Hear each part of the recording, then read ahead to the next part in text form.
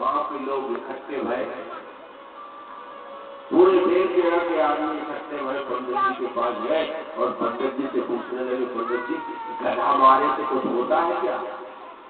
पंडित जी ने सोचा, चलो आज तक आए हैं पूछने तो मतलब सीधा जम गया अरे बोले, गधा मारने से तो बहुत पाप होता है, बोले, और आज फिर भी कितना होता अरे बोले, गधा मारे से तो बहुत पाप होता है, बोले करना पड़ेगा बोले गधे का चोर का सोना लाना पड़ेगा, और उसका गधा तो पंडित जी को दान देना पड़ेगा।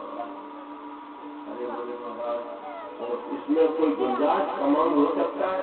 बोले, नहीं, कोई गुंजाइश है नहीं, मैंने देख लिया पत्रा में बिल्कुल इससे कम तो हो गई नहीं।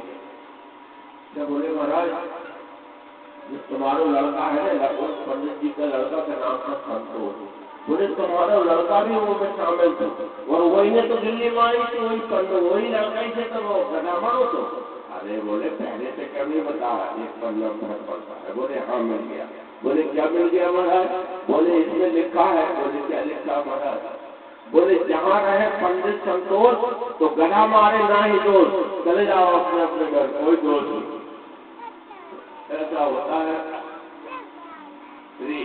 तो सूर्य महाराज कहते हैं कि इधर लक्ष्मी जी ने भगवान विष्णु ने तो उनको कुछ नहीं बोला। लक्ष्मी जी कहती है, खड़ी हो गई। और बोले, क्यों? तुमने मेरे पति को लाश क्यों मारी?